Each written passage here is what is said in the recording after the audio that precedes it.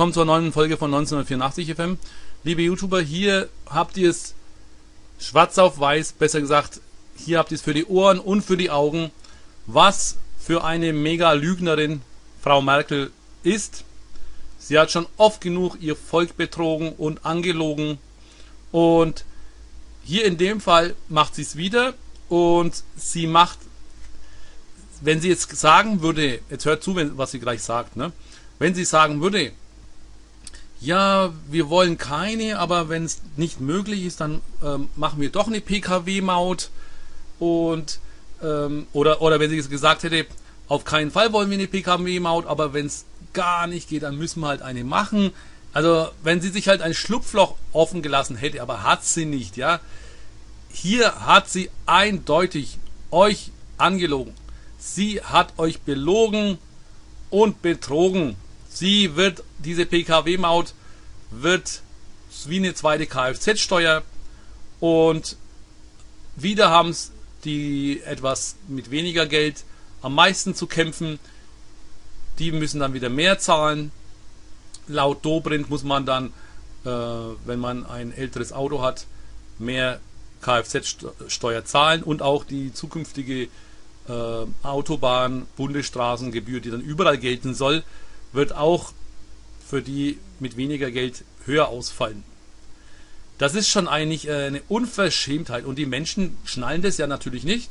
Und wenn dumme Schlafschafe was nicht schnallen, dann sollen sie halt so weiterleben, das ist ihr Pech. Ich weise nur noch mal darauf hin, passt mal auf.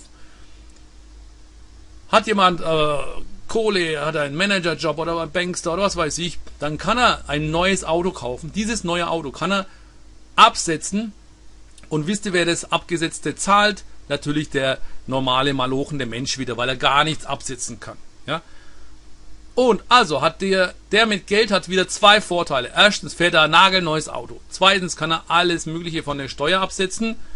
Und drittens, der mit weniger Geld muss jetzt mehr Automaut zahlen, äh, Pkw-Maut zahlen und auch, äh, ihr werdet sehen, höhere Benzinkosten werden auch noch kommen die, die Bankenkrise und so weiter, die ganzen Versprechen an die EZB und so weiter müssen ja eingehalten werden. Und wer wird das natürlich wieder bezahlen? Na, wie immer, das dumme Schlafschaf und damit du schön dumm und schlafschaf bleibst, wirst du schön weiter manipuliert und angelogen und betrogen und die wird eine heile Welt vorgegaukelt. So, lange geredet. Hier kommt es original mit ihrer Stimme. Es tut mir leid, dass ich euch das antun muss, aber ihr sollt schon selber sehen, wer euch regiert. Was für eine Lügenbaronin. Hört zu. Also ich würde ganz gerne schon bei dieser Sendung wissen, wie denn dies funktionieren soll mit einer Pkw-Maut für Inländer, Frau Merkel. Denn Sie werden ja von Herrn Seehofer wahrscheinlich äh, vor die Situation gestellt werden, dass er sonst keinen Koalitionsvertrag unterzeichnet. Und ich würde gerne wissen, welche Konsequenzen das für Sie hat gegenüber Herrn Seehofer. Glaube, ja, die, die Konsequenzen kann ich kurz und knapp beantworten. Äh, mit mir wird es keine Pkw-Maut geben. Ah ja, endlich. Ich glaube, das, ich glaube, das habe ich schon ähm, sehr, sehr lange und in vielen Interviews gesagt. Naja. Ich äh, glaube nicht, dass es richtig wäre, die Autofahrer weiter zu belasten. Ich glaube auch nicht, dass es richtig wäre, dem Bund weitere Einnahmen vorzuenthalten. Wir haben genügend äh, Aufgaben da stimme ich Herrn Steinbrück sehr zu, dass wir investieren müssen. Und insofern mit mir wird es eine Maut äh, für Autofahrer im Inland nicht. Okay, dann haben wir das Thema auch. Also ihr habt es eindeutig gehört, sogar zweimal hat sie es gesagt. Sogar zweimal. Und das ist schon eine krasse Lüge. Ne? Wie gesagt, wenn man es einfach nur mal so nebenbei sagt, na, ich, ich bin nicht so dafür. Ne? Das, ne, das ist so. Aber hier sagt sie eindeutig, eindeutig, zweimal, sie will das nicht. Also das ist so eine absolute Lüge, dass sie dafür nicht zurücktreten tut. Das ist schon echt der Witz. Ihr müsst alle ihren Rücktritt fordern. Das ist hier eine bewiesene Lüge. Fordert ihren Rücktritt.